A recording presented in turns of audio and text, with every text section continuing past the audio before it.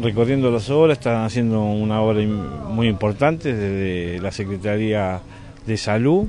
Y bueno, nosotros, este centro cumple 25 años y que creo que bueno, que hoy va a estar remodelado a nuevo y es muy importante para prestar un buen servicio para, para los vecinos y aparte para que el personal que trabaja, tanto en la parte administrativa como las enfermeras, como los médicos, es puedan tener un lugar digno. Es decir, todos los centros, están reformando muchos centros, muchos centros al mismo tiempo y bueno, esperamos tener un lugar digno para que tanto el trabajador de la salud como el vecino lo puedan disfrutar. Desde la gestión del intendente hacer obras de corto, mediano y largo plazo. El corto plazo significa reacomodar los reacomodar el recurso humano, el mediano plazo significa profundizar el territorio y el largo plazo, que es la gran obra del materno infantil, en donde va a estar la pediatría y todo el control de la mujer. Cumplió 25 años, es decir, un poco los centros de salud no se le ha puesto inversión los últimos años. Bueno, en este caso, es decir, ya es un centro que vino con la democracia, pero